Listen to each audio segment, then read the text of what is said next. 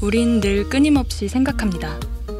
어떻게 세상을 바꿀 수 있을지, 어떻게 하면 우리의 생활을 조금 더 편리하게 할 수 있을지, 기술의 발전으로 늘 보고 싶던 사람들과 언제 어디서나 시간에 상관없이 서로 얼굴을 마주보며 이야기하고 보안 기술의 발달로 공인인증서 없이 몇 번의 터치만으로 돈을 보낼 수 있습니다.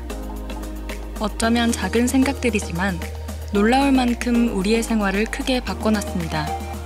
작지만 놀라운 것을 만드는 개발자가 되고 싶은 우린 세종대학교 소프트웨어과입니다.